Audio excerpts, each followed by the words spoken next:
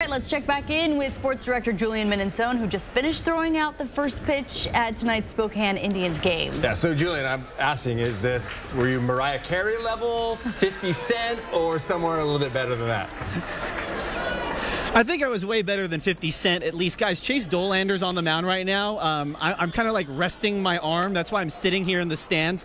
Um, but who knew that there would be two flamethrowers um, pitching tonight? Dolander uh, and myself went from the mound. You guys didn't see it because it was in break, but you're just going to have to take my word for it. Uh, went on the mound got it all the way down to the catcher. I used Chris's advice to aim right above the catcher's head there, so got it right all the way to the mound. Um, some high heat, I got to say, and even Braxton Hyde, who was catching for me, one of the pitchers here, the Indians, uh, said that his uh, left hand hurt from uh, when the ball hit his mitt. So um, he's going to be sore, probably out, you know, 10 to 15 days, I would say, just from my pitch alone. Um, and we are going to have uh, that pitch for you tonight at 11 o'clock because I know you guys were just anxious to see it, but we were in break and sometimes timing things doesn't work out. But yeah, so he even signed it for me.